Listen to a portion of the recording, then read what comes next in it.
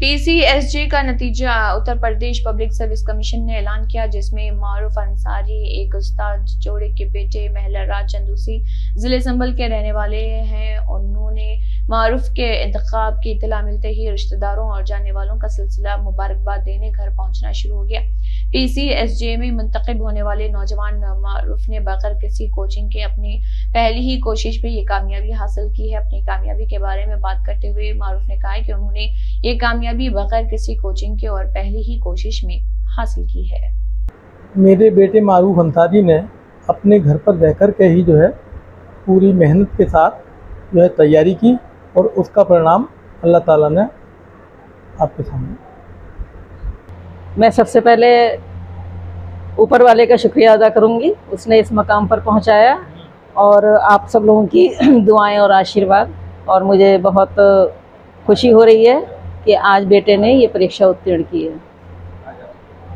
जी आज आ, मैंने कल रात मेरा रिज़ल्ट आया। उत्तर प्रदेश लोक सेवा आयोग की ओर से आयोजित जुडिशियल सर्विस एग्जामिनेशन की परीक्षा में मैंने एक सौ रैंक के साथ आ, इस परीक्षा को उत्तीर्ण किया। कल शाम छः बजे करीब मेरा रिज़ल्ट आया। उसके बाद से ही सभी शुभचिंतकों का बधाई के लिए बधाई संदेश आ रहे हैं। उन सभी को मैं शुक्रिया अदा करना चाहता हूँ। इस सेवा में आप हो? तो आपको प्रेरणा कहाँ से मिली कि मुझे की लाइन में जाना है? मेरी शुरुआती शिक्षा यहीं नगर के स्वामी विवेकानंद लॉ कॉलेज से बी एल किया। बी के दौरान ही मुझे मालूम हुआ कि इस क्षेत्र में जुडिशरी में भी जाने का विकल्प है। आप वकील बनने के साथ साथ एक न्यायिक अधिकारी भी बन सकते हैं। इस संदर्भ में मैंने और जानकारी मालूम प्राप्त की। अपने सीनियर सगीर सैफी एडवोकेट से इस बारे में मशवरा किया। उनसे समय समय पर मार्गदर्शन लिया। अपने गुरुओं से, जो कॉलेज में मेरे प्रोफेसर थे, उनसे मार्गदर्शन लिया और इस सब के साथ कल मैंने इस परीक्षा को उत्तीर्ण किया। यह सफलता आपने किसी कोचिंग के माध्यम से पाई या अपने सेल्फ स्टडी नहीं पूर्णतः मैंने अपने घर पर रहकर ही सेल्फ स्टडी की है और मैंने किसी कोचिंग संस्थान से कोई कोचिंग नहीं ली जैसे कि बचपन में अक्सर माँ बाप कहते हैं कि बेटा बड़े होकर क्या बनेगा? तो क्या आपके मन में ऐसा कोई सपना था? तो सोचा था आपने मैं बड़े होकर क्या बनूँगा?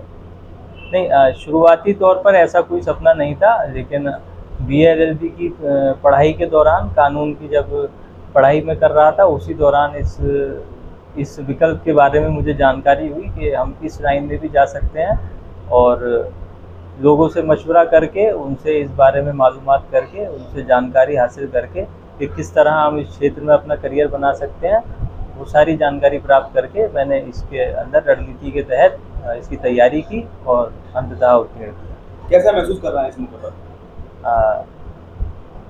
वैसे तो लोग मुझे बधाई संदेश दे रहे हैं, लेकिन मैं पहले से ज़्यादा इस बात को लेकर के चिंतित हूँ कि अब मेरी ज़िम्मेदारी थोड़ी बढ़ गई है और अब मैं इस बात को लेकर चिंतित हूँ कि मैं कैसे आगे इस ज़िम्मेदारी का निर्वहन करूँगा और पूरी अपनी कोशिश करूँगा, पूरी सत्यनिष्ठा, पूरी ईमानदारी के साथ जो ज़िम्मेदारी मुझे माननीय आयोग की ओर से सौंपी गई है, उसको निर्वहन करने का प्रयास करूँगा। यहाँ तक पहुँचाने में आपके माँ बाप ने जो मेहनत की उनके लिए क्या निसंदेह संघर्ष व्यक्तिगत होता है और सफलता सामूहिक होती है।